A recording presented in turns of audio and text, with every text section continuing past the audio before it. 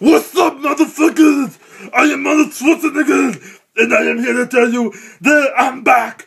After being the governor and returning to the Expendables 2, I now have my first starring role since my shitbag movie, Terminator 3. Yes, me, Arnold Schwarzenegger, has actually admitted it. Now, we are gonna go to 22 Tiger Dude to review my movie, The Last Stand, and I hope he fucking likes it.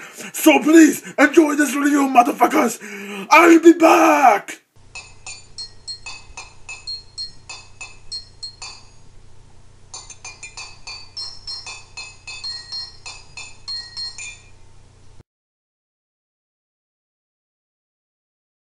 Hello everyone, I am 22 Tiger Dude. Wait, what the fuck? and I'm here to review The Last Stand, and I'm gonna say it in the order that the trailer should have said it because, yeah, it stars how the trailer should have done it in order Arnold Schwarzenegger, Forest Whitaker, Luis Guzman, and Johnny Knoxville. The trailers only said Arnold Schwarzenegger and Johnny Knoxville.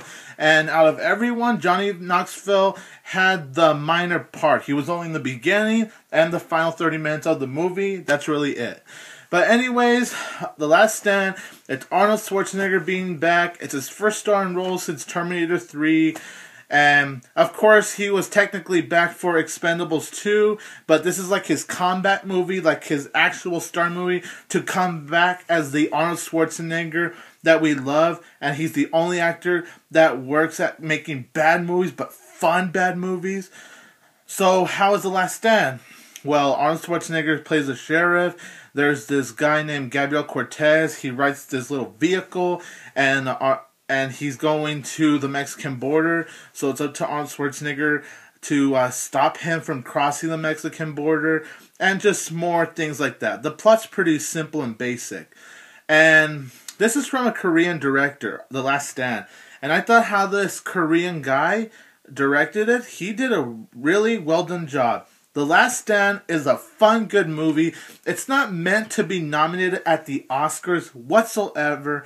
It's just a fun, time of a movie to escape from the harsh and horrible reality for one hour and 40 minutes.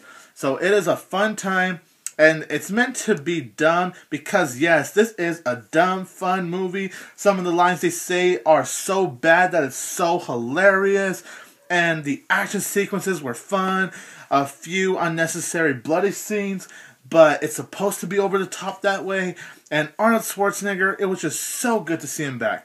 Too bad he didn't get to say "I'll be back," but he uh, he was still being Arnold Schwarzenegger, even though he was old. And yes, you do see him get up. He's not the he's not the big, strong one that he was. Like he's still strong, but we still see him having a hard time getting up and all that stuff with his old age now. And I thought that was just handled so well.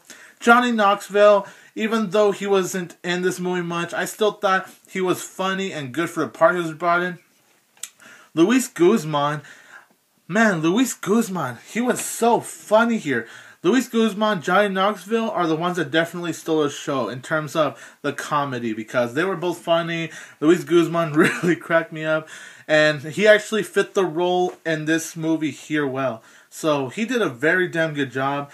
Uh, the acting overall is pretty good. Um, there is a few bad acting, like Genesis Rodriguez from Casa de mi Padre. Um, uh, her acting was pretty bad here. Her acting in Casa de mi Padre was better. Um, Gabriel Cortez's uh, acting, yeah, that that was not very good.